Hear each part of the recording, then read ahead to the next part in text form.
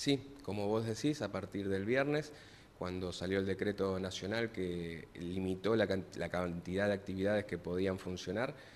eh, el intendente Emilio Jatón tomó la decisión eh, acertada de poder darle esta posibilidad a los comercios gastronómicos para que puedan trabajar en la modalidad de envío a domicilio o delivery. Eh, hoy ya tenemos 20 negocios que se sumaron a esta propuesta y que me parece que es muy importante porque tiene un doble beneficio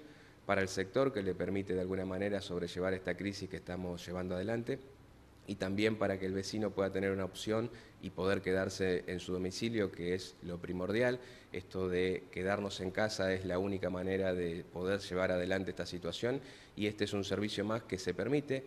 Nación, en consonancia y también eh, siguiendo el lineamiento que tomamos en el municipio, el sábado eh, siguiente al del decreto presentó una modificación en este sentido, así que la verdad que me parece muy importante y es una posibilidad para que un sector que emplea alrededor de 6.000 personas en la ciudad tenga una posibilidad al menos de poder desarrollarse y de que el vecino pueda contar con un servicio más y poder quedarse en su casa. Sí, estos son todos locales habilitados y que tienen los controles sanitarios que hacemos habitualmente. Eh, lo único que ahora se le pide es que cambie la modalidad, que no pueda tener gente en su local y sí que pueda llevarle la comida a domicilio. Obviamente que con las cámaras trabajamos en las cuestiones sanitarias que estamos recomendando en todos lados, esto de la higiene, de la desinfección de los elementos que se utilizan y la higiene personal, mantener el distanciamiento, eso es general para todas las actividades y a través de la cámara